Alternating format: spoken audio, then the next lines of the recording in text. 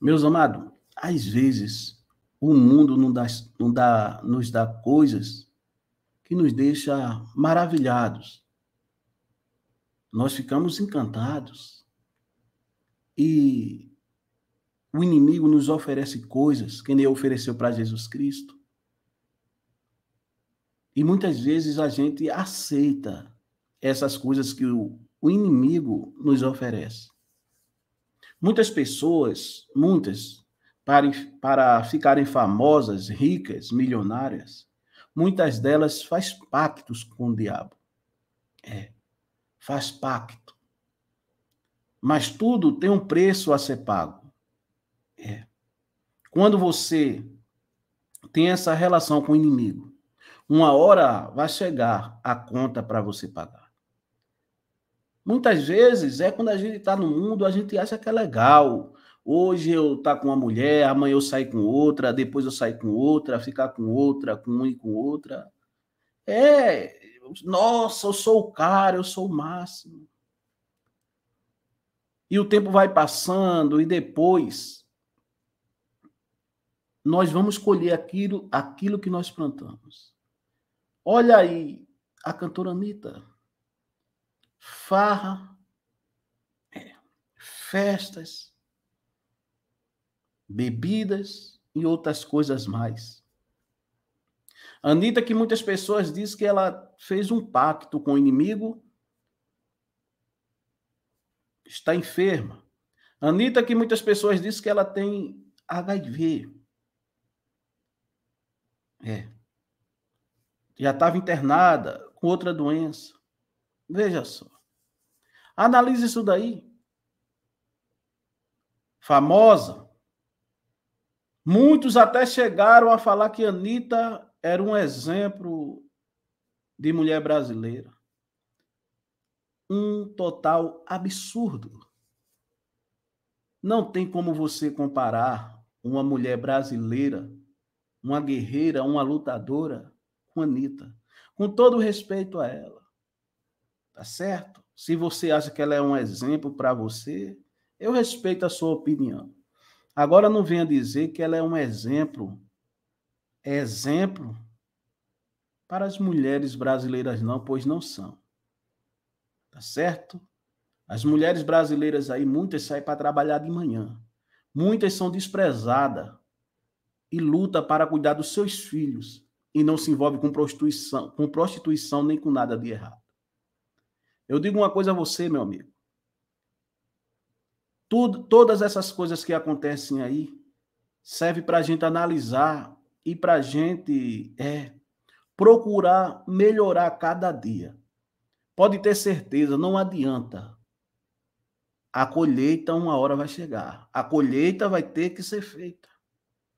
Eu achava legal quando eu estava lá, tirando onda, andando armado, usando droga me achando que eu era o máximo, que eu era, que eu era o cara, uma arma na cintura, uma pistola na cintura. Eu sou o cara. Eu faço e aconteço. O tempo vai passando e aquilo que você plantou, uma hora você vai colher. E quando chega no dia da colheita, é dura, viu? Você vê o MC Catra, que pintou e bordou, fez de tudo. E você sabe como foi o fim dele. E ele mesmo disse: Deus não tem nada a ver com isso. Eu estou colhendo o que eu, o que eu plantei. Agora é a vez da cantora Anitta. É. Passando por tudo isso aí. Mas ela não abre os olhos. Falo nem aqui da religião dela, ela segue a religião que ela quiser. Mas será que vale a pena tudo pela fama e pelo dinheiro? Sabe, irmão? A palavra de Deus vai dizer que aquele povo estava no deserto e todo dia o Senhor enviava o alimento para eles. Deus cuidava daquele povo. Deus protegia aquele povo. Quando era noite, Deus não deixava aquele povo ficar no frio. Deus sempre estava ali cuidando daquele povo. Às vezes, meus irmãos, é mil vezes melhor você comer pão com água no deserto de que comer caviar com Satanás numa mesa. Você está me entendendo? O inimigo vai te oferecer muitas coisas nesse mundo. Muitos cristãos, muitos servos de Deus, que antigamente era servo de Deus, estão se perdendo, se corrompendo por causa do dinheiro. É. Muitos olham para a vida dos outros e vê muitos com dinheiro, com casa, com mansão, através do evangelho, e eles querem seguir o mesmo caminho. O mesmo caminho. E ele olha para aquela pessoa ali como se fosse um exemplo para ela, para ele. Diz assim, poxa, esse pastor aí tem uma mansão, tem jatinho, tem tudo com o evangelho. Então eu posso também. Então vou, vou como é que ele trabalha? Eu vou começar a trabalhar do jeito dele para ter as coisas que ele tem. A mesma coisa em outras áreas da sua vida. Será que vale a pena? Quando chega a hora da colheita, não adianta pedir misericórdia, chorar. Não adianta chorar. É hora, é hora de colher, não é hora de chorar. Então você pense duas vezes. Você pode fazer o que você quiser da sua vida. Você pode enganar, você pode fazer tudo o que você quiser.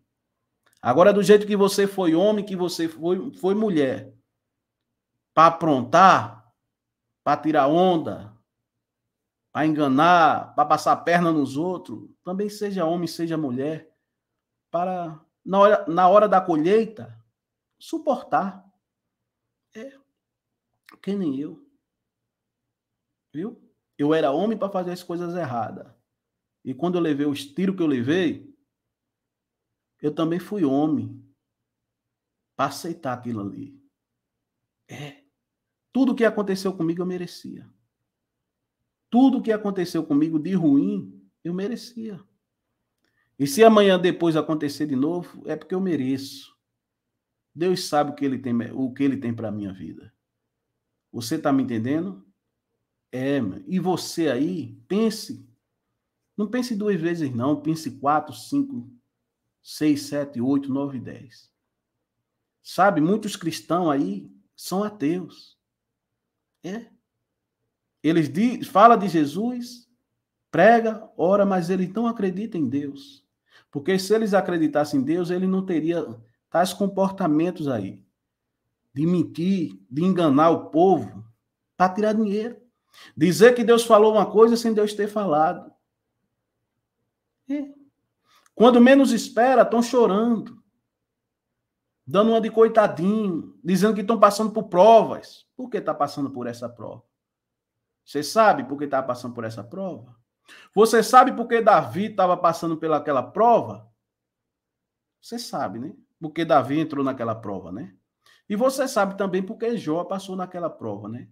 Tem dois tipos de prova, né? Vamos colocar aqui assim. Um que você entra e um que Deus lhe coloca, né? Jó, Deus colocou ele na prova. Davi entrou na prova por ele mesmo. Então, essas pessoas que plantam isso daí, Anitta achou o quê? Que ela ia curtir, tirar onda, fazer e acontecer e depois não ia colher nada? Não ia colher nada? Sabe quando a gente vê que o dinheiro que o dinheiro não vale a pena? Sabe quando é? Sabe quando é? O dinheiro é bom, é. Tu gosta de dinheiro, gosto de dinheiro, mas não amo o dinheiro. Eu trabalho para ganhar o dinheiro. O dinheiro não me, não me ganha. Eu ganho dinheiro. Sabe quando você, sabe quando é que você vê que o dinheiro não, não é isso tudo? Não é tudo, sabe? Quando você pega uma doença e seu dinheiro não pode lhe curar. Pode ter o dinheiro do mundo todo. O médico diz assim: não tem jeito. A gente não pode fazer nada. Você está me entendendo? Eu vou dizer a você, diante de Deus, hoje, eu sou mais feliz de, quando eu tava, de que quando eu estava lá no mundo. Hoje eu tenho paz na minha vida. Eu não sou santo. Sou cheio de defeitos e cheio de pecado. Peco todo dia, erro todo dia. Mas eu procuro sempre, estou procurando a cada dia ser uma pessoa melhor, me tornar uma pessoa melhor a cada dia. Você está me entendendo? E o que você está procurando para a sua vida? O que você está procurando para a sua vida? ilusão. Veja só, coisa simples. Quantas cantoras aí, tem cantoras aí que são casadas, tem sua família e vive bem. Você vê só uma coisa, coisa simples aqui. Veja Cristiano Ronaldo. Casado, tem sua esposa, sua família. Veja Messi. Casado, tem sua esposa, sua família. Veja Neymar. Só bagaceira. Só bagaceira. Só bagaceira. Qual o caminho que Neymar está trilhando? Não seria o mesmo caminho de Anitta, não? Você está me entendendo? Veja a vida de Messi. É. Veja a vida de Cristiano Ronaldo. E veja a vida de Neymar. Você está me entendendo? Numa dessas aí, de você estar tá aprontando, você acaba, meu amigo, pegando uma doença. Aí depois não tem um milhão, dois milhões, três milhões, quatro milhões. O médico disse: olha, não tem jeito. Não tem jeito. Será que vale a pena, meu irmão? É uma reflexão. Olha a situação de Anitta. Pode ter certeza que ela daria o dinheiro todo que ela tem para ela fugir desse problema que ela enfrenta. Uma hora ou outra está dentro do hospital. Uma hora ou outra está dentro do hospital. Você está me entendendo? Eu posso adoecer? Posso. Você pode? Claro que pode. Nós somos seres humanos. Uma coisa é eu adoecer, outra coisa é eu procurar enfermidade para minha vida. Você está me entendendo? Fique na Santa Pai de Deus, viu? E nem sempre, e não vale a pena, não. Coloque na sua cabeça tudo que você plantar, você vai colher. Você pode aí fazer o quê? Um perfil falso e dizer: eu vou atacar, vou tirar onda, vou caluniar, vou aprontar, vou cronar um WhatsApp, vou cronar um, um, um, canal do YouTube mesmo. Tem muitas pessoas aí que até o canal hackeia o canal, um zap, tudo para acabar com a vida das pessoas. Não se não. Um dia você vai colher. Um dia você vai colher. Não tem para onde correr. A colheita chega. Deus é amor, né, irmão? Deus é amor. Mas a justiça dele é sem misericórdia. Pode ter certeza disso. A justiça de Deus é sem misericórdia. Deus é o justo juiz. Fique na santa paz de Deus. Às 21 horas tem live, tá certo? Deus te abençoe.